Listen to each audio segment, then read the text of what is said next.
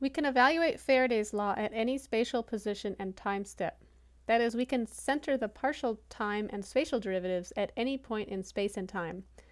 But we want to be strategic about where and when we solve Faraday's law.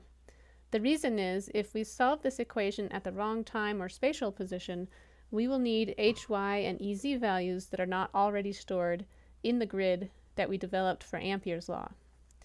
It turns out that we should evaluate the entire equation here at time step n, at all the n time steps, integer time steps, and at half integer spatial positions, so at i plus 0.5. If we do this, then on the left side, we're going to get ezi plus 1 n. So since it's a spatial position, we're taking uh, one half grid cell to the right and subtracting EZ at position i, one half grid cell to the left, divided by delta x, and that's equal to mu. And now we have the time derivative centered at n.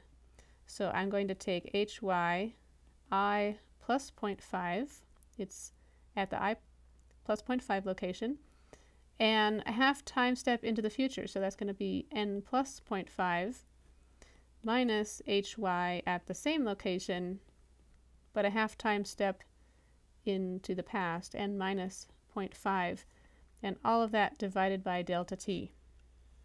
And you can see that all of these hy's and ez's are already stored in our computer based on the discretization that we used earlier for Ampere's law. We have ez's at integer spatial positions and time steps.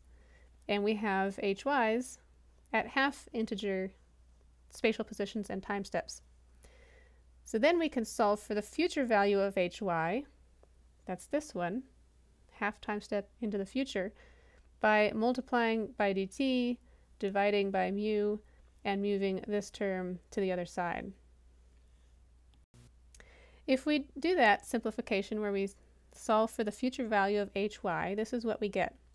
This is the update equation for all the hy's in the model. It is the second of the two equations that we want to program into our computer in order to solve for the propagation of electromagnetic plane waves in 1D. We can also make the evaluation of this equation more efficient as we did for Ampere's law. For example, we can define coefficients that we can evaluate before time stepping begins.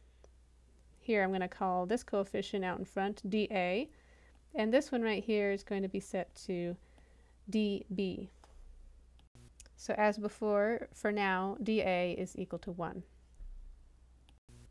The combination of the two update equations that we've come up with here, shown here, allows us to solve for the electric and the magnetic fields in our plane wave in space and in time and the solutions in both space and time are second order accurate.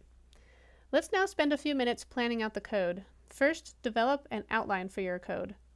Spend a minute and write down what the main sections of your code should be. Maybe start by listing the main parts of your code, maybe between two and five sections in total.